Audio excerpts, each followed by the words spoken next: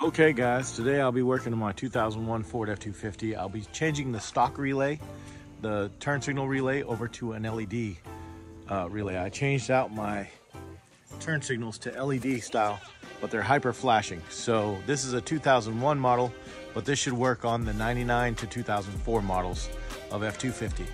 Let's get started. Changing your Ford relay to an LED relay because when you turn your turn signals on,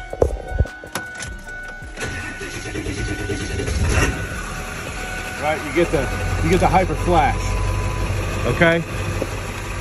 We want to get away from the hyper flash, but Ford did a dumb thing and they put the relays up in this hole right here.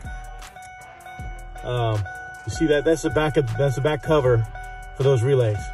And I've seen all kinds of YouTube videos where they're taking off all this dash and trying to get their hands up through that hole.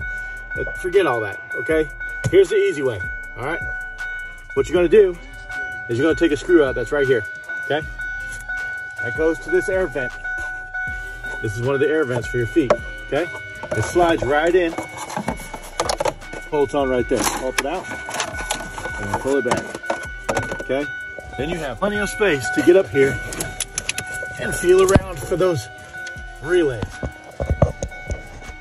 All right, so if you look up in there, you can see that cover right there.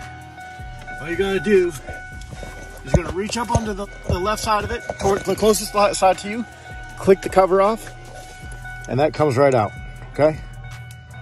All right, put that off to the side. Go back up.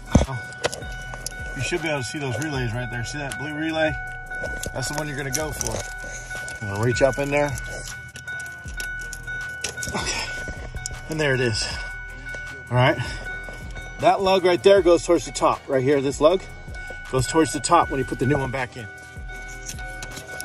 it's right here. I can't see it, but maybe you can see me pointing at it. I got it in, all right? Okay guys, unfortunately this will not go back on, so I'm just gonna leave it off. This is the cover for the relays. I'm just gonna leave it off because the relay that I got for the LED is too big. Just to know, you have to do that without your eyes. You have to feel around in there. Just make sure you put that one vertical lug in towards the top. All right, it's back in.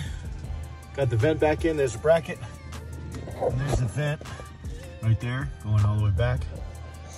Um, it's hard to see anything in this truck, to be honest, but it goes in right there and just kind of dangles there. You will need a seven millimeter to take this screw out right here. But once you pull that off, you can pull that whole thing right on out and you can get up behind that to get to the flasher. Easy peasy. Man, don't listen to those other guys on YouTube. And nothing against them, it's just they did it the hard, hard way. All right, guys, so now we're gonna try out our new relay. We don't have to turn the truck on to do this.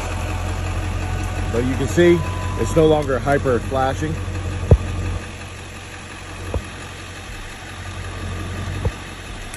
It is now normal. All right. The LEDs are working. Take the back.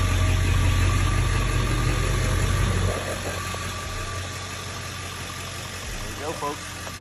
And that should help you guys. Uh, just let me know. It only took me about five minutes. Just be careful with the wiring underneath the dash. Don't pull anything out. And that's it. All right. Thanks for watching.